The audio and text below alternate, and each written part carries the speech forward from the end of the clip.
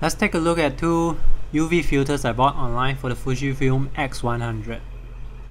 This is the B Plus W49mm Digital Pro Multi-Coated UV Filter. It will be around US $40 with shipping. This is the Fujiyama 49mm UV filter.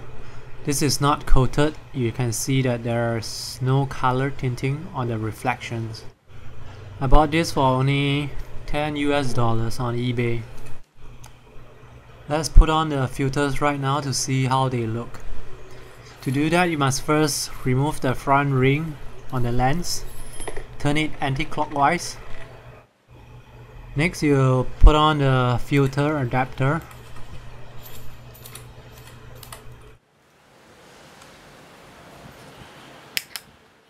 The Fujiyama filter looks quite good on the camera. But I cannot recommend this filter because this is not multi-coated. In certain situations, you will get reflections in the photos you take. When I first tried this filter, I managed to catch a reflection. I was taking a photo of my window from inside my room and it managed to capture a green reflection in the photo. So I will not be using this filter anymore. You can still fix on a lens cap for this filter. Anyway, I bought the filters to protect the lens against dust. Let's take a look at the B plus W UV filter now. The rim is black. It looks quite good even though it is not silver in color.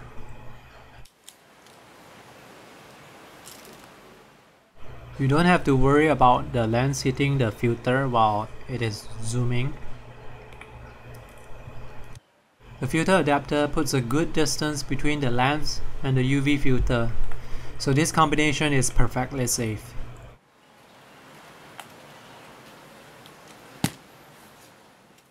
You can still attach the hood with the filter on. The hood attaches on the outside of the filter adapter. This is one of the more expensive UV filters around. It is coated on both sides and it's really great at preventing reflections. You can either get this filter or get the Hoya filters. Just make sure that they are multi-coated.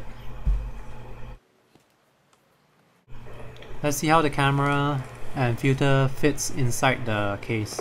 A disclaimer first, this is not the original Fujifilm leather case. I bought this case under $30 on eBay.